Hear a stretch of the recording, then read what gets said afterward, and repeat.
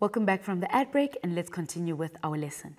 Let's go on to the second concept on our concept map and that is the rhombus. Now, if you remember what a rhombus is, a rhombus is a special parallelogram. Now, when we defined a rhombus in the beginning, we said that it is a parallelogram that has all four sides to be equal. So let's look at now the angles of a rhombus and also the diagonals of a rhombus. So we already know that it is a special parallelogram. That means that all of the properties of a parallelogram apply to a rhombus as well. So the diagonals of a rhombus, they bisect the opposite angles. Now, if we remember, with a parallelogram, the opposite angles were equal, but now with a rhombus, the diagonals, they bisect the, those opposite angles. And then what um, another thing about the diagonals is that they are perpendicular. Let's look at the properties of a rhombus. So when it comes to the sides, we know that KL is equals to NM as they are opposite sides. And we also know that KN is equals to LM. But remember, a rhombus is special because now all of the sides are equal. So that means that KL is equals to NM.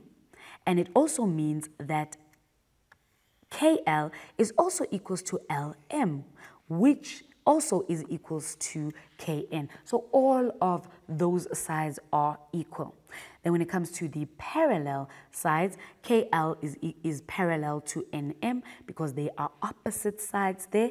And of course, a KN is also parallel to LM.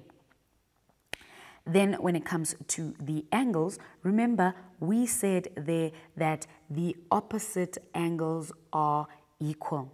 So that means that angle K is equal to angle M, which is that property of a parallelogram which also applies to a rhombus. And of course, angle L is equals to angle N. So that angle N there will be equals to that angle L there. Now, when it comes to the diagonals, firstly, the diagonals also bisect each other. Now, the diagonals, we are talking about Km and also Ln. And again, they are intersecting there at T. And because the diagonals bisect each other, we know that KT is equals to MT, and we know that LT is equals to NT. And in addition, because this is a rhombus, the diagonals, they bisect each other at 90 degrees. So Km is perpendicular to Ln. And then what about the diagonals again? Those diagonals, they bisect the opposite angles. So this means that Ln bisects angle N and angle L. So to bisect is to cut in half. That would mean that that angle and that angle are equal, which also means that angle L, that that angle there and that angle there is equal as well.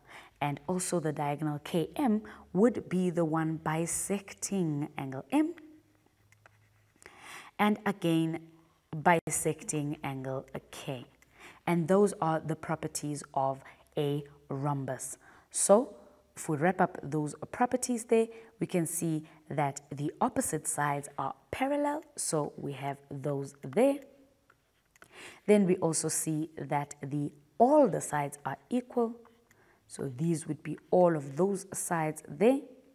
Then the opposite angles are equal as shown and also the diagonals, they bisect each other at 90 degrees. So not only do they cut each other in half, but they meet at 90 degrees as well. And lastly, the diagonals bisect the opposite angles as shown. Let's move on to the next concept on our concept map, and that is the kite. So when we are looking at the properties of a kite, now the diagonals of a kite, they intersect at 90 degrees, which means that they are perpendicular to each other. Now the diagonal that is also the line of symmetry, it bisects the other diagonal. Now let's see what we are talking about in that instance. So we have a kite here, a kite QRST. Now what do we know about the sides of this kite? Well, we know that the adjacent, the adjacent sides are equal or two pairs of adjacent sides are equal. In this case, we have a QT which is equals to a QR. And that is the first pair of adjacent sides that are equal. And of course, the other pair is uh, TS with RS. And those two are also equal over there. What about the angles?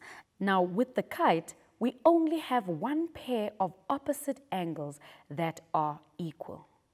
And that would be angle T over there and angle R over there. So those are the two opposite angles that are equal. Then we have our diagonals. Our first diagonal there is TR, and then our second diagonal is QS. And we can see where they are meeting. They meet at um, point A over there. And what did we say about the diagonals? Well, for starters, the diagonals, um, remember we said that the diagonal, that is also the line of symmetry, and in this case it is QS.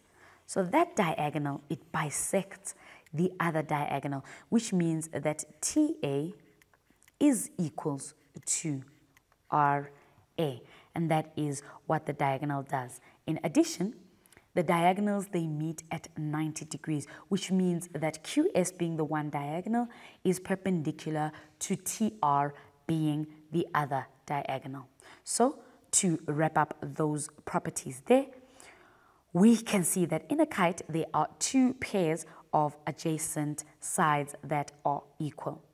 One pair of opposite angles are equal and the diagonal that is the axis of symmetry bisects the other diagonal at 90 degrees. And those are the properties of a kite. Let's move on now to the properties or to the next concept in our concept map, and that is the trapezium. So what do we know about a trapezium? Well, a trapezium has only one pair of parallel lines. The diagonals of a trapezium are not equal, unless it is an isosceles trapezium. Now we are going to look at that isosceles trapezium after this one, but a trapezium has only one pair of parallel lines. And in this case, that would be WX, which is parallel to YZ. So those two sides are parallel there. So with a trapezium, one pair of opposite sides are parallel. But what about if it's an isosceles trapezium? Now, isosceles, you might remember, perhaps you are thinking of equal. Well, an isosceles trapezium has only one pair of parallel lines, right? It is only if the trapezium is an isosceles trapezium that we have the other pair of lines to be equal. So we have one pair of parallel lines and then that other pair that is not parallel they would be equal only if it is a trapezium, sorry, if it is an isosceles trapezium. The angles formed by the one parallel side and the pair of equal sides are equal. Now, let's see what we mean concerning those lines and the angles. So there is a trapezium and concerning the sides, now we do know that Wx is equals I mean, sorry, is parallel to YZ, but because this is an isosceles, because it's an isosceles trapezium, it also means that WZ is equals to XY. And this is only because it's an isosceles trapezium. Now, what about the angles? Angle Z and angle Y will be equal angle z and angle y will be equal. Why? Because they are opposite the equal sides. This also applies for angle w and angle x. So those two angles there will also be equal because they are opposite the equal sides. So when it comes to an isosceles trapezium, then we know that one pair of opposite sides are parallel, of course, and because it's an isosceles, then one pair of sides are equal as well. Now, that is not the only trapezium that we find. The last trapezium that we are going to look at is the right angled trapezium or the right trapezium. Now, when it comes to the side sides, of course, DC will be a parallel to AB because in a trapezium, in any trapezium, we have one pair of parallel sides. Now, what about the angles? Now, when we are looking at the angles that we are given there, we can see that angle D is equals to angle A and they are both equals to 90 degrees. So if we have a trapezium that has one 90 degree angle, then we will know that the other or that there is a second 90 degree angle as well. And why is that? This is because of those parallel lines. Remember, co-interior angles, they form um, 180 degrees when added. So if one angle is already 90 degrees, then the other angle will also be 90 degrees because of the parallel lines. So when it comes to a right trapezium, of course, we know that one pair of opposite sides are a parallel and then one pair of angles are right angles as we can see over there. That is it about our quadrilaterals and I really hope you enjoyed this lesson as much as I did. Thank you for joining us and we hope to see you next time. Goodbye.